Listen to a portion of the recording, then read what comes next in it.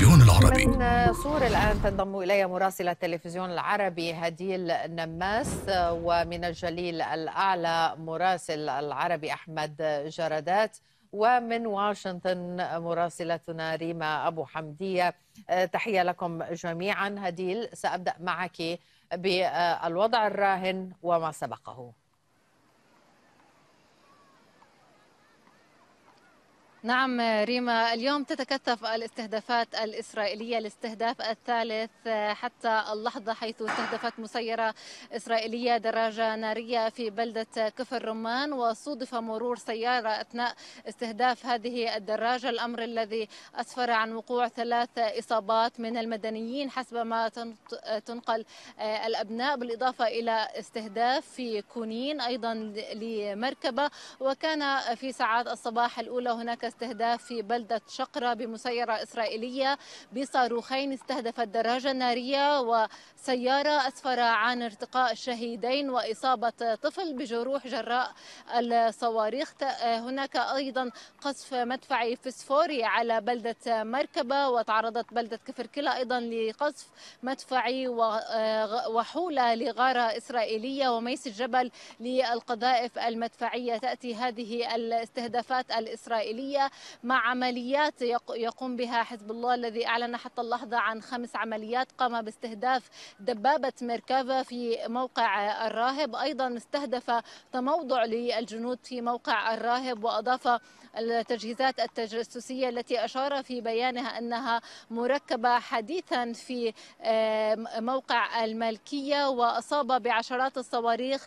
أيضا موقع البغدادي وكنا قد رصدنا في المداخلة قبل قليل استهداف موقع حدب يارين الذي من ممكن أن يصدر هنا بيان من قبل حزب الله باستهداف هذا الموقع. هذه المواجهات ما زالت ضمن قواعد الاشتباك المعتادة مع التنويه إلى أن هناك تصاعد في عمليات الاستهدافات بغرض استهداف مدنيين أو حتى عناصر لحزب الله. كان حزب الله قد نعى شهيدين اليوم وما زالت هذه المواجهات مع تصاعد التصريحات السياسية التي أكدت وحسمت توجيه ضربة إسرائيلية إلى لبنان. أيضا تزامنا مع إلغاء العديد من الرحلات لشركات الطيران السويسرية الإثيوبية التركية وغيرها من شركات الطيران. ديما. إذا هذا هو الوضع في الجنوب. أنتقل إليك أحمد جردات في الجليل الأعلى. أيضا لنتابع معك ما يجري الآن. وهل من أي تغيير على صعيد هذه الجبهة؟ شيء ملحوظ عسكريا استعداد ربما؟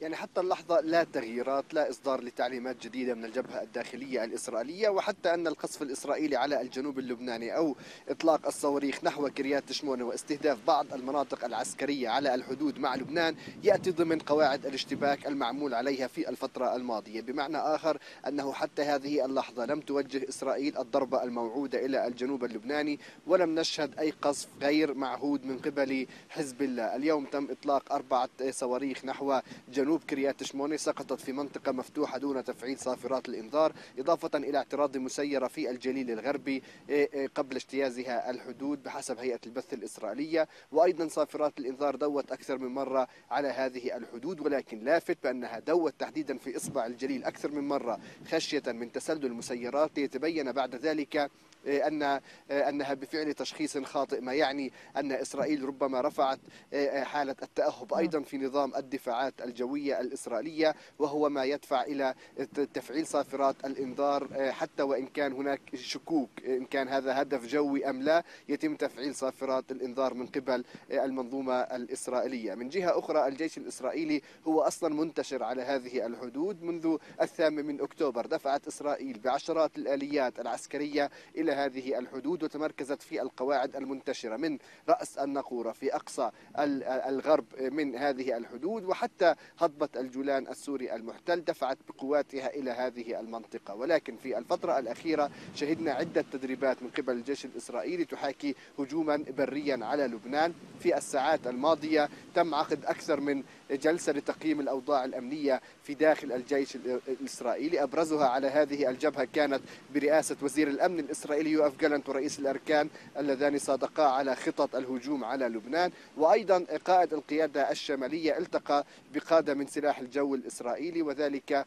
لفحص بنك الأهداف الذي بحوزة القيادة الشمالية ضد حزب الله. ومن جهة أخرى هناك حالة من التأهب في سلاح الجو الإسرائيلي بمعنى فرز عدد من الطائرات الحربية الهجومية بحسب موقع والله لتكون على أهبة الاستعداد. وأيضا زيادة الطائرات التي بالأصل هي موجودة في سماء هذه المنطقة في محاولة لاعتراض أي هدف جوي يحاول تجاوز الحدود مع لبنان. لذلك نتحدث حتى هذه اللحظة عن هدوء حذر عن عمليات في سياق نعم. المعتاد على هذه الحدود. ولكن الرد الإسرائيلي أو الهجوم الإسرائيلي المرتقب وطبيعة رد حزب الله على الهجوم الإسرائيلي آه، ربما هو ما سيحدد شكل هذه المنطقة وهذه الحدود إن كنا أقرب إلى الحرب والمواجهة أو إلى إعادة احتواء الموقف.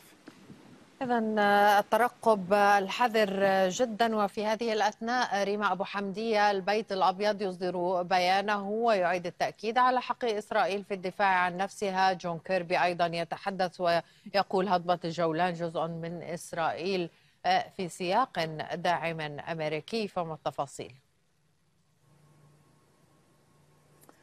بالفعل يعني لم تخرج تصريحات المتحدث باسم مجلس الأمن القومي جون كيربي عن التصريحات المعهودة من واشنطن من التأكيد على أن لإسرائيل الحق في الدفاع عن نفسها والرد على الهجمات إلى الحديث بأنه سيترك لإسرائيل.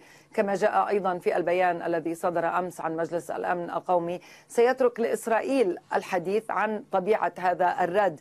القرار بشأن طبيعة هذا الرد وكيف يمكن أن يكون بيد إسرائيل كما يقول المتحدث باسم مجلس الأمن القومي جون كيربي. ولكن لربما اللافت أيضا في الأمر بأن واشنطن تؤكد أيضا أنها لا تريد لهذه الحرب أن تتوسع لا تريد أن تنزلق إلى حرب إقليمية وأن المفاوضات جارية والمحادثات متواصلة مع الطرفين اللبناني والإسرائيلي بهدف التوصل إلى حل دبلوماسي ومنع انزلاق هذه الحرب إلى حرب إقليمية بل إنه قال إنه يعتقد بأن الحديث حول اتساع رقعة هذه الحرب. حديث مبالغ به ولا يوجد إشارات حتى هذه اللحظة.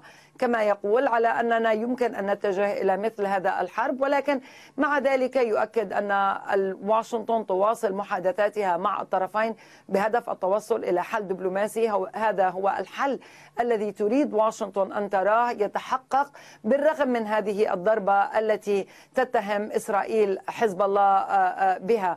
أيضا المتحدث باسم مجلس الأمن القومي مرة أخرى يؤكد على حق إسرائيل في الدفاع عن نفسها ولكن يقول إن آه، المحادثات بشأن وقف إطلاق النار مستمرة وأنه لا يعتقد أنه لا يمكن سد الفجوات المتبقية في هذه المحادثات وبالتالي لا يرى أن ما جرى من آه، من هذا الهجوم على آه، مجد الشمس سوف يؤثر سلبا على هذه المحادثات التي تجري بشأن وقف إطلاق النار. في غزة ما يسمح بوقف إطلاق النار دخول المساعدات الإنسانية إلى قطاع غزة المحاصر ولكن أيضا آه، خروج أو استعادة المحتجزين من داخل قطاع آه، غزة. بكل الأحوال واشنطن تؤكد على أنها لا تريد لهذا التصعيد أو لا تريد لهذه الحادثة أن تؤدي إلى التصعيد والمباحثات متواصلة بين الولايات المتحدة والجانبين الإسرائيلي واللبناني بهدف منع هذا التصعيد.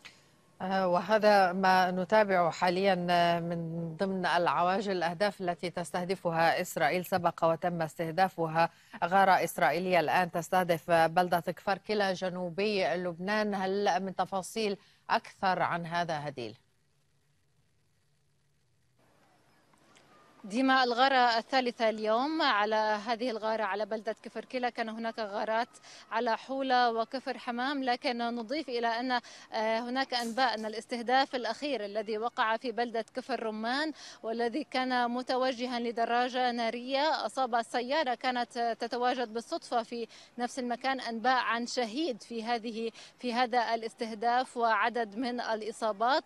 غير واضح بعد هوية الشهيد آه، الذي ارتقى في غارة آه، كفر رمان الاستهداف الثالث منذ آه، ساعات الصباح اليوم. كان هناك أيضا في ساعات الصباح شهيدين في غارة بلدة شقرة واستهداف آخر في كونين لم يسفر إلا عن إصابات. هناك كثافة في عدد الاستهدافات لإصابة الأشخاص المدنيين أو حتى عناصر حزب الله بالإضافة إلى الكثافة في الغارات والقصف المدفعي والقذائف الفسفورية حيث كانت قد تعرضت ميس الجبل ومركبة وكفر كفر أيضا قبل هذه الغارة تعرضت لقذف قذائف مدفعية إسرائيلية ديما. شكرا جزيلا لشبكة مراسلي تلفزيون العربي من صور مراسلة العربي هديل النماس من الجليل الأعلى أحمد جرادات ومن واشنطن ريما أبو حمدي. التلفزيون العربي.